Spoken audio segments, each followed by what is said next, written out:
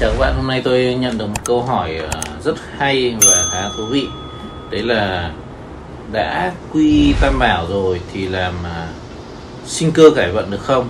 À, đấy là cái trường hợp mà à, gia đình à, bác này cả hai bố con đều ờ, đã quy y tam bảo và hỏi tôi là có thể làm sinh cơ cải vận được không?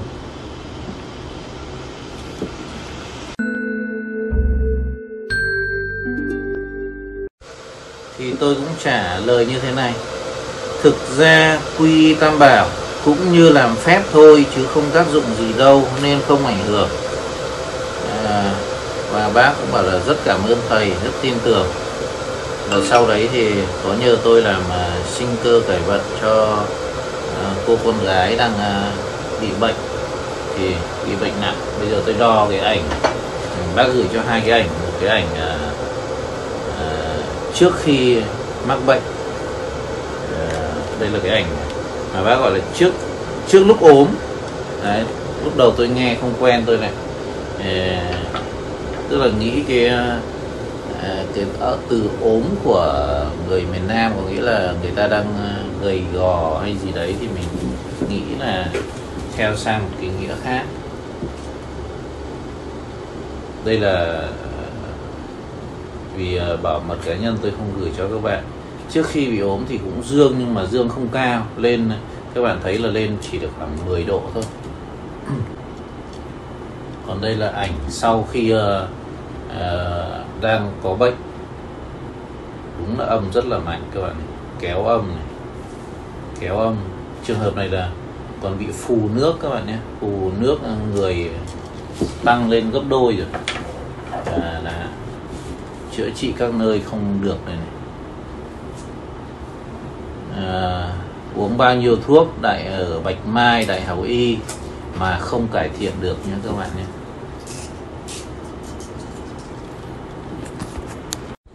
nói chung à, thận thì thường là thứ vi tế mọi người ít phát hiện ra và thường khi phát hiện là nó ở giai đoạn nặng rồi nên là theo phương pháp là tây y là khó rồi. Uhm, mọi người rất chủ quan. Nhiều khi là thực ra là khi mọi người đi tiểu mọi người quan sát nước tiểu mọi người biết là nặng hay nhẹ nhưng mà hầu hết chúng ta không quan tâm. Có lẽ tôi sẽ làm clip và hướng dẫn cho các bạn. À, không phát hiện sớm đến lúc uh, nặng rồi là rất là mệt. Hôm nay tối muộn rồi chín rưỡi sắp phải về rồi nên tôi pha cà phê ờ, nhanh. Đây là gói cà phê đặc sản người ta gọi là kim cương đen.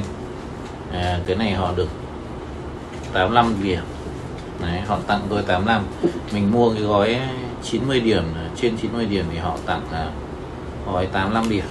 85 điểm là, là tốt rồi. Trên 80 gọi là được gọi là cà phê đặc sản. Nhưng mà họ cái gói tặng của họ có tí teo teo teo.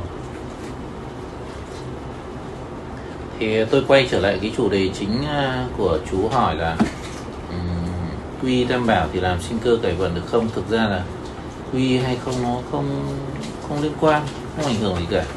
À, đấy là cái thứ nhất. Cái thứ hai là um, tôi có sinh cơ cải vận cho người theo bình thường theo không theo tôn giáo nào hoặc là theo phương pháp dân gian là ngài trương thiên sư. Um, trương thiên sư sinh cơ cải vận. Đấy.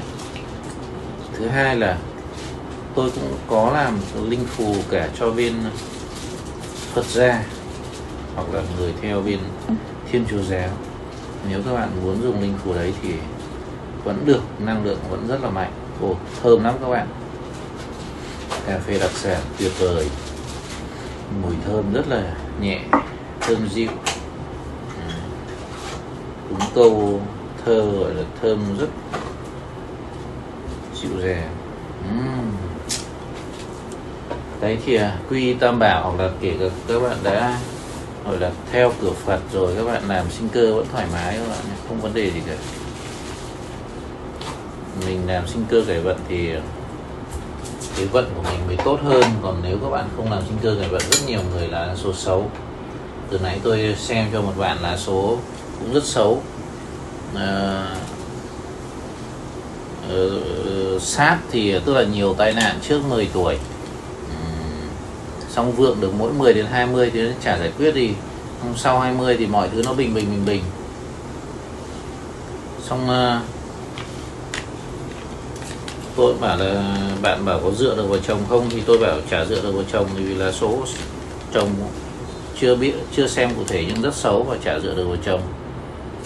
Cái thứ nữa là uh, bạn hỏi về con cái thì tôi cũng bảo là con cái con cái thì khó nuôi và có một cái đặc tính là nó rất là liều.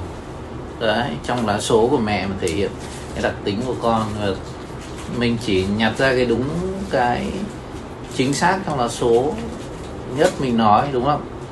Thì bạn nói đúng là con cũng, bạn rất là liều và đang phải cải tạo.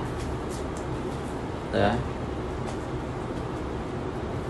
nên là dù mình có làm gì thì cải vận càng sớm thì càng tốt các bạn. Ví dụ cái trường hợp mà suy thật nặng này, bệnh viện có thể không không xử lý được. Tôi chả dám nói là mình chữa được, tại vì là muốn chữa thì lại phải cả thuốc đông y. Còn đây là sinh cơ cải vận là truyền năng lượng dương vào để cho người ta kéo dài sự sống cho năng lượng nó mạnh hơn.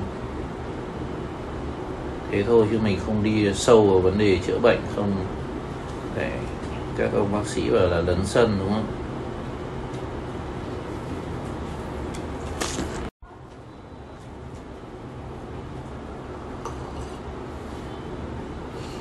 Thơm quá các bạn. Rất là tuyệt vời. Cảm ơn các bạn đã quan tâm và hẹn gặp lại ở những clip tiếp theo.